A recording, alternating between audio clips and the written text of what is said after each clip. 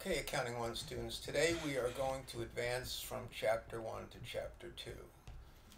So we're going to start with a little transaction worksheet or tabular summary, which we did in Chapter 1. We had, uh, showed you Jill Jones, Tammy Two Books, problem 15A.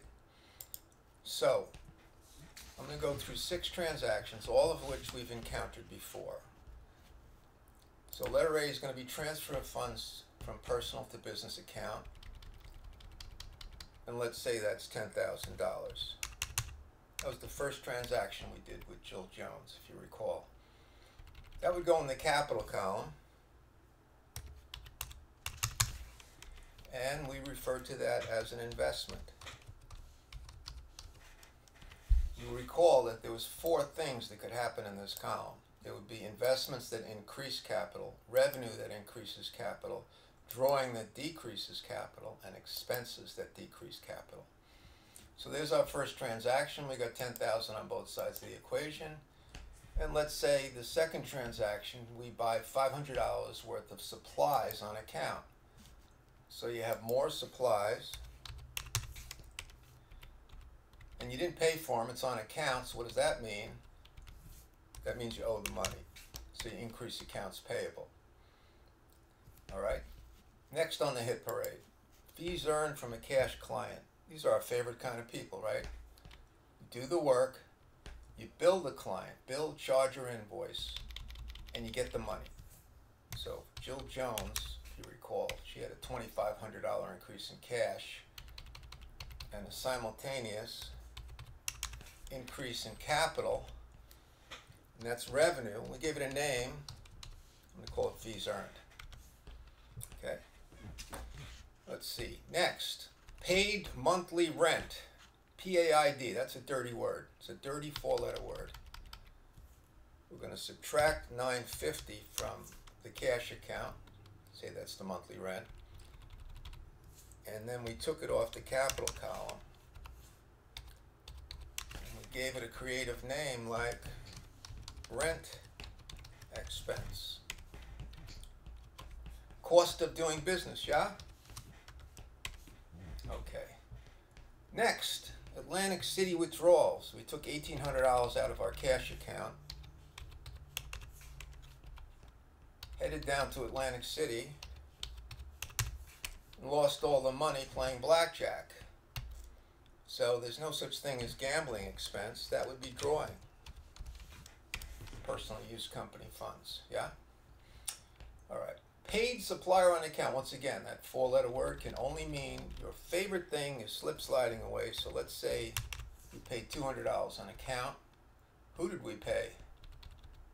We paid the creditors. The creditors typically going to be in this column here. Accounts payable. And there you have it. Six transactions, simple worksheet. Okay, now unfortunately you can't use this technique in the real world because you know, we got two assets here. You could have 30 assets. We have one liability. You could have 40 liabilities. Capital, the bazillions of transactions in here. It's not workable. So, cutting edge technology, what happened? Back in approximately the year 1500, a Franciscan monk by the name of Luca Pacioli devised what is known as the double entry accounting system. So Lucas said, well, you know what, I want to keep track of all this stuff here, just like we did on this worksheet. But instead of going plus minus, I'm going to put the increases on one side of what you're going to come to know and love as an account. I'm going to put the increases on the left side. I'm going to put the decreases on the right side. And if the increases outweigh the decreases, I would have a positive balance, which you're going to come to recognize as a debit balance. So, let's see. Let's take this first transaction, letter A. That's a $10,000 increase in cash. Now, Luca decided, I'm going to put the increases on this side. How did he decide that?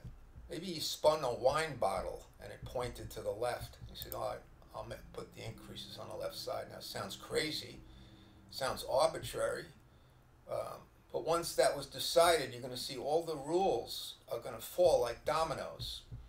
So let's see. I'm going to put the increases on the left side of the account. So that means the $10,000 is going to go on this side.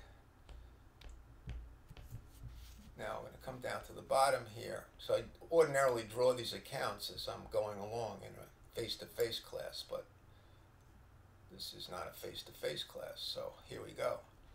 I want to put letter A over here, and I'm skipping a step right now, which I'm going to come back to in a few minutes. I put the 10,000 over there.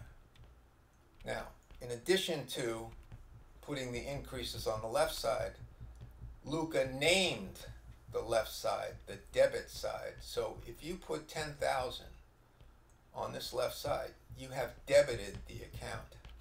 And then you say to yourself, self, did my cash balance just increase or decrease? You're thinking, that's too easy a question. I'm not going to answer, right? My cash balance just increased. Mm-hmm. So if I want to increase an account balance, an asset like cash, I have to debit the account.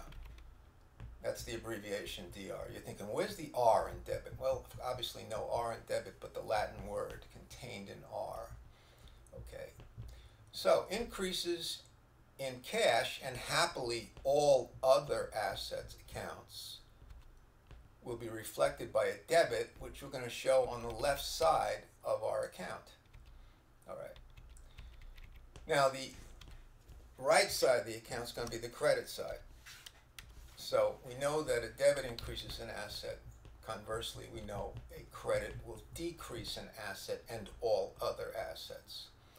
Now, Luca had a very simple rule. He said that the debits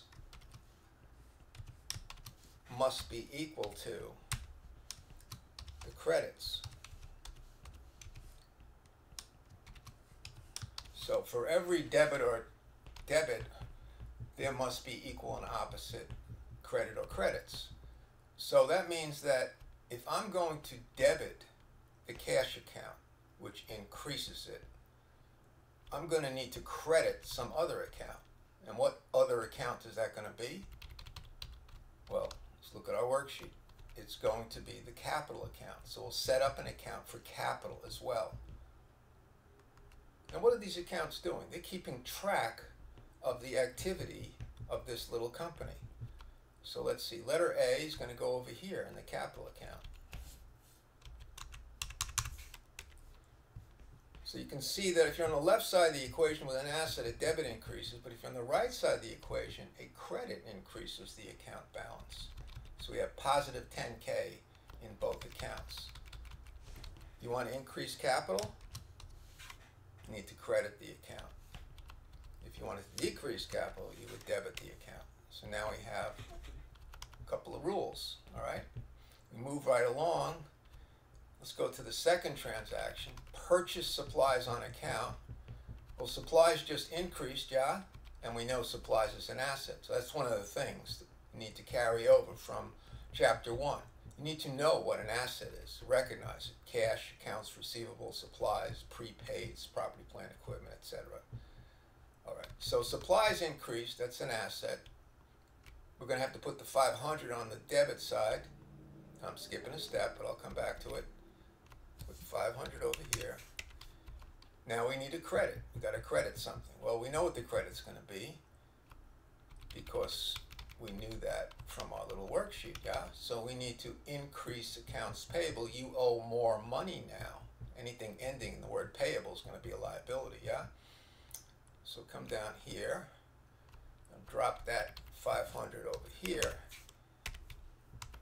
in the account for accounts payable. Now we just discovered another set of rules. Accounts payable just went up, yeah? So credit will increase accounts payable, and happily, all other liability accounts will be increased with a credit. And the converse is true. A debit's going to reduce a liability account. Alrighty then. So now we've derived some rules here for debiting and crediting. All right. Let's go to the next transaction. Letter C, that was our cash client. We love these people, right? So the 2500 was an increase in cash. I'll bring that down over here.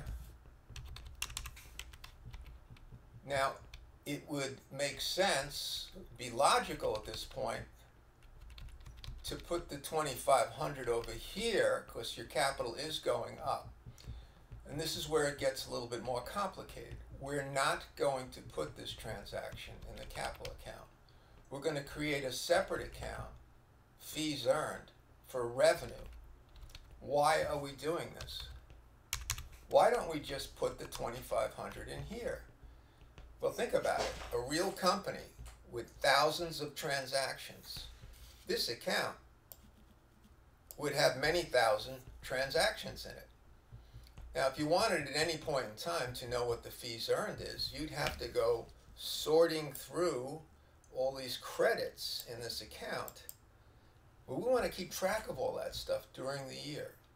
So to keep track of revenue, we'll set up a separate account, fees earned.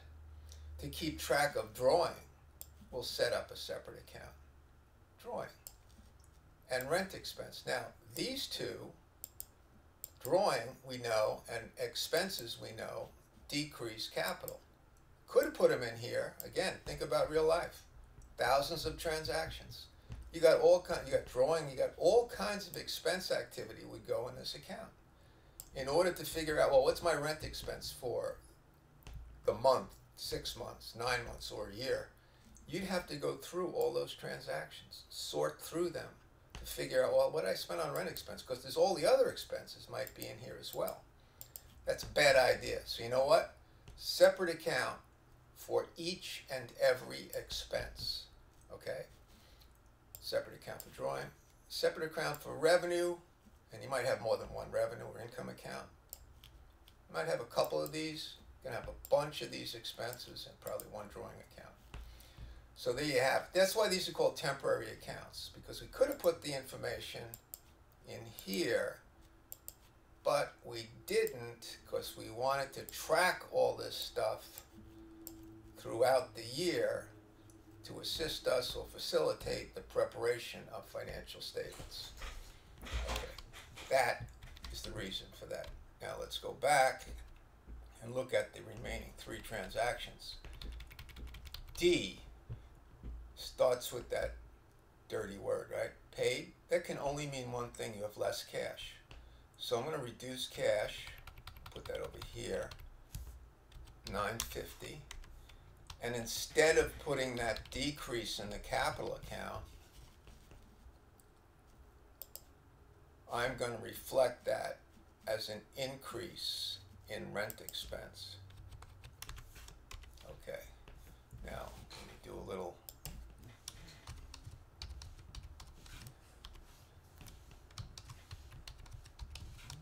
updating here. So if you want to increase a revenue account, what do you do? You credit the account. If you want to increase an expense account, what do you do? You debit the account. And the converse is true.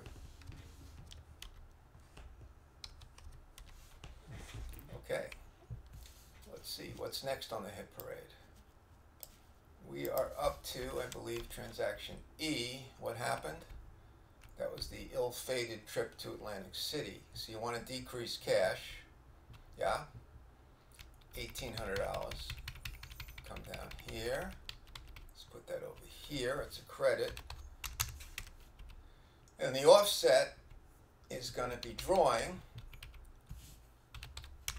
Once again, you could have put that over here, but no, we want to we want to keep track of drawing throughout the year, so we'll have this account. And we'll be able to figure out what was our drawing at any point in time. We just look at the balance in the account to figure that out. All right, so what's the rule for drawing? If you want to increase drawing, you need a debit.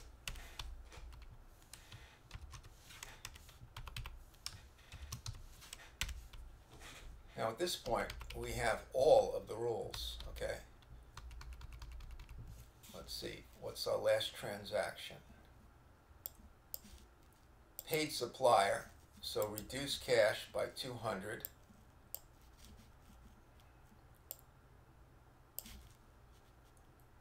That's going to go over here. And we paid the supplier, so what does that mean? That means we owe less money now, yeah? So we know this from chapter 1. We owe less money. How do you reflect that in a liability account? You need a debit. So that's going to go over here. $200. Okay. So now I have put all six transactions in these accounts. Okay. So the book of accounts is called the ledger. Okay. That's where you would find all of the accounts. The ledger. Now, what's the step that I skipped? Okay. Well, before you put these numbers in the accounts, you write them down. Of course, in a computerized setting, you're typing it in or in some other way reflecting these transactions. So what I'm going to do now is I'm going to go to a finished worksheet and let's see what is it we're supposed to do before we put these numbers in the accounts. We're supposed to do this. We're supposed to record the transactions in a journal. Now, what's, what shows up in this journal should not be a surprise because we looked at it from the standpoint of a worksheet and we looked at it from standpoint of its impact on the ledger accounts. So what was the first transaction? That was investment of personal funds in the business. So we said, I want to debit cash. So here's my transaction. Now I have A, B, C, D, but that would be dates in the real world. So we might be 9, 15, 20. I want to debit cash. What do I do? Write down cash. My journal is going to have a debit and credit column. So I drop that in the debit column and I want to credit capital. Is my first transaction. I wrote it down in a journal. Then after you write it down in a journal, of course we're doing this manually, you take that number and you pull it down over here, drop it into the account. That's called posting. Taking a transaction from the journal and reflecting it in the ledger. Okay, posting. Now, if you figure this out, if you're able to figure this out here, in other words, look at a transaction and come up with a journal entry for it, the next step, the posting step, is highly mechanical, right? Because this tells you exactly what you're going to do. It says, let me debit cash, put it here. Let me credit capital. Whoops, put it there. All right. So that transaction, that's how it shows up. What was the second transaction? Purchase supplies on account. Okay, we have more supplies. We know supplies is an asset. I want to increase it, so I debit supplies. Accounts payable, I owe more money now. It's a liability. I want to increase the amount I owe. Credit accounts payable. Third transaction, I got more cash. Cash, and this is how you do this. You ask yourself, which accounts are affected by a transaction? That's step A. Now, we should know this from chapter one. So there was a bunch of transactions we looked at, and you have to be able to recognize what's going on when you see a narrative description of a transaction. So this one, how what's the narrative? Paid supplier on account, right? So you would say, okay, I know the two accounts affected. One of them, I'm sorry, this is purchase supplies. One of them is supplies, and the other one is accounts payable. So I identified the two accounts, and we knew this again from chapter one. So the next question is, what is the nature of the account or the classification?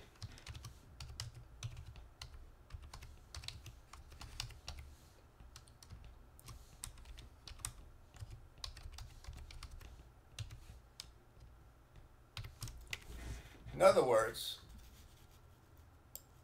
which one of these six items are we talking about? Well, for supplies, you say, well, I know what supplies is. Supplies is an asset.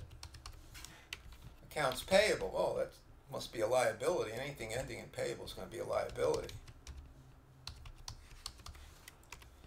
All right. Then you go to the final step. And again, this is all chapter one stuff, right? You go to the final step, and we want to know is the account increasing or decreasing? That's the step here, again, chapter one. So when I purchase supplies on account, I have more supplies, yeah? And I owe more money. Now you take this information, this chapter one stuff over here, and then you look at your rules. I derive the rules.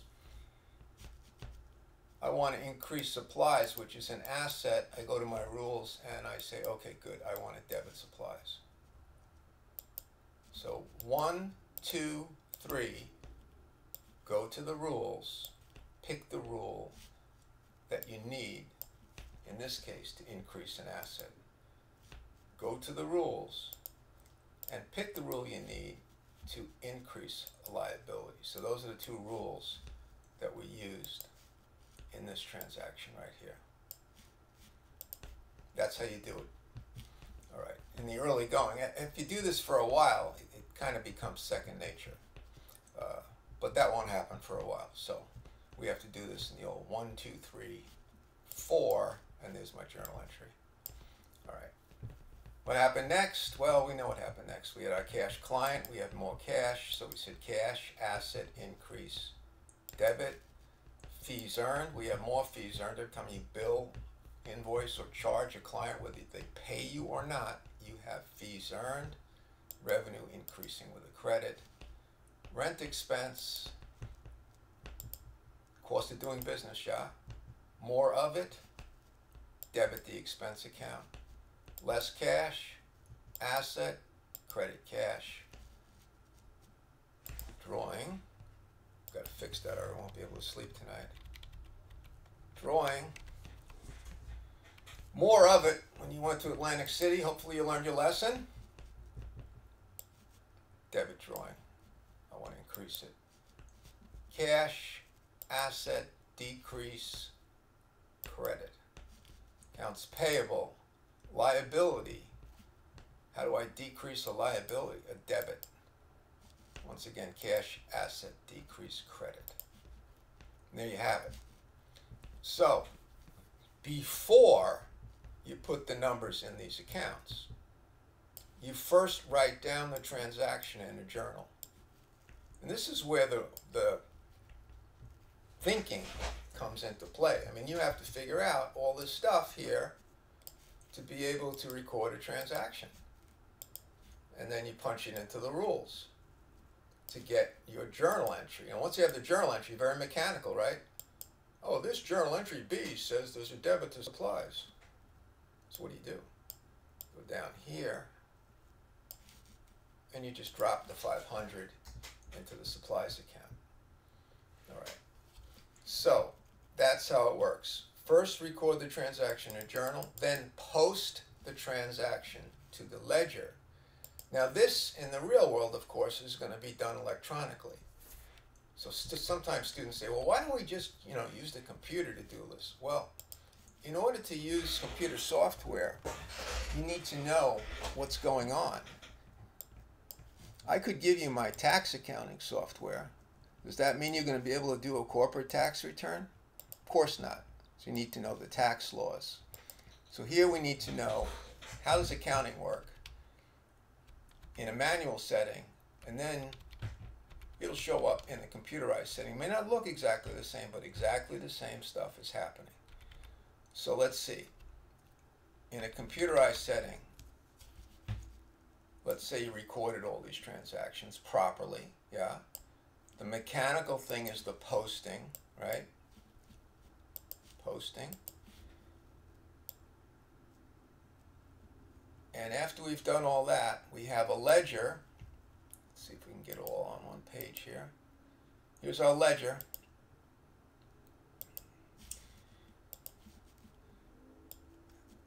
Now, account balances. I have the account balances in these little green rectangles. So if you add up the debits, that's 12,500, and you add up the credits, that's 2950. We got more, we have more debits than credits. We have a debit balance, the difference between those two totals, yeah? It's normal to have a debit balance in cash. Does that make sense? It's normal, in other words, to have more deposits than you have withdrawals from your cash account. Could you be overdrawn? The answer is yes. It's possible you could have a credit balance in cash. It is normal to have a debit balance. And in fact, anything that increases an account balance would be the normal balance. So take a liability. Okay every time you owe more money, you want to increase the liability. Why would you have a debit balance? You should never have a debit balance in a liability, okay, unless you overpaid somebody maybe. So here we go. Let's look at our ledger. Let's look at this. Here's our balance. 9500 cash. Supplies only had one transaction in there, 500. Accounts payable went from 5, 3, down to 300. And the rest of these accounts all have just the one transaction in them, and therefore that one transaction represents the balance. So let's say we did this. We recorded the transactions in a journal, which requires chapter one knowledge and then conversion to a journal entry. We posted to the accounts and then determined the balances in each of the accounts which in this case is very simple, the exception of cash. Then if we wrote down those balances, so what is this? This is a listing of the accounts in our ledger and the corresponding balances.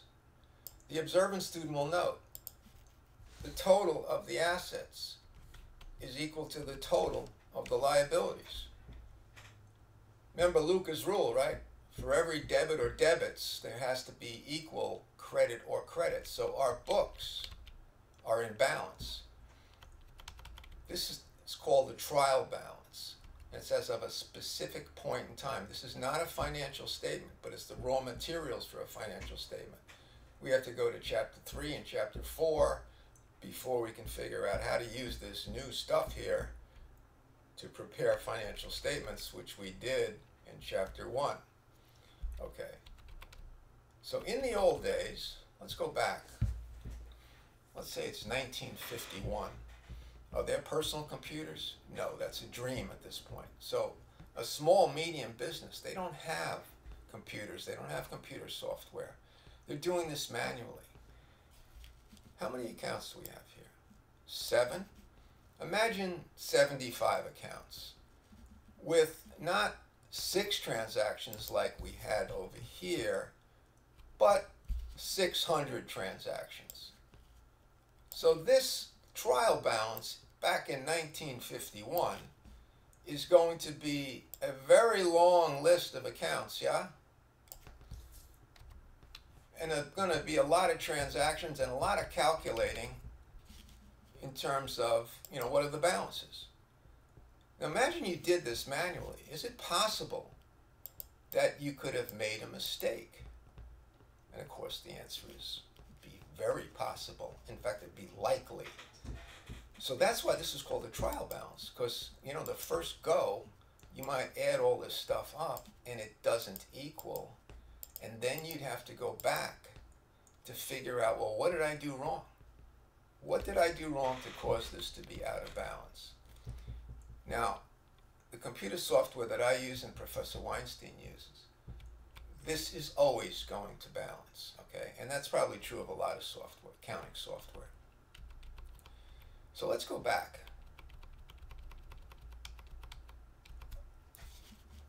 Let's make believe we recorded these in a computerized setting. we came up with the proper journal entries, and there they are. What are the chances that our computer software is going to put this 10,000 in the wrong account? No chance.